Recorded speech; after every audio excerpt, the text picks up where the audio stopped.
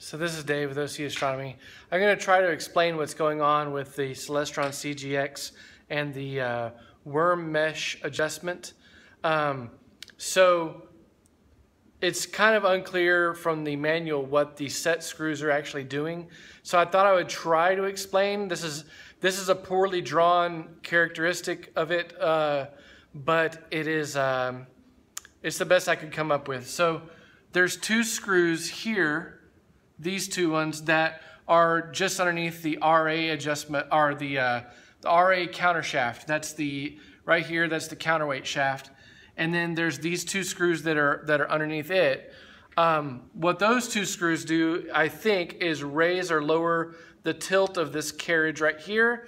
Um, and that's important because if this is tightened down too much, then there can't be any adjustment at all.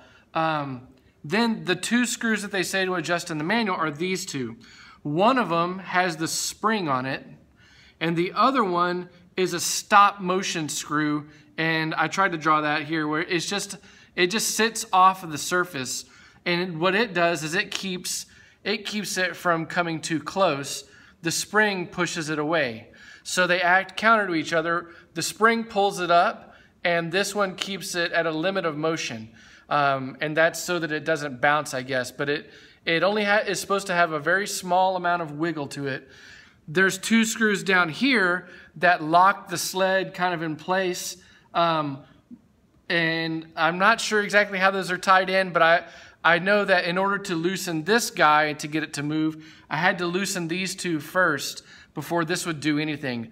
Once I got it to where this was happy and I was okay with it, I tightened these two back down and then my only movement was coming from these two screws right here. Actually, this one. So the, I didn't draw the motor in there, but the motor is connected to the worm gear or to the, to the worm drive shaft and then to the worm gear on the mount. That's kind of what I was trying to represent here. That's a poorly drawn uh, worm right there. So um, what you're trying to do is correct the spacing between this guy and this guy. You want the spacing to be such that it's tight, but that it has a little bit of room to ride without getting bound up. And my trouble was it was binding, and so instead of having backlash, I was actually so tight onto it that it didn't have any freedom of movement at all. Um, whenever I came to adjust this screw or to see if this had any play at all, it had zero play. It was stuck in place. So what I, what I did was um, loosen these two, adjusted this one to where I could at least get a little bit of range of motion, and then tighten those back, and then use this one to set my tension on, on, that, uh, on that spring. As you can see, if you, if you crank this down too much, the spring will just become compressed and there'll be no range of motion there. Um, so you have to have a little bit of room. That's why you have to loosen it just a little bit to give it a little bit of play in that spring. And whenever you do, you can see that this, uh, the worm drive will, it'll be snug, uh, but you can still move it just a tiny bit. And that's all that it really needs to prevent it from binding.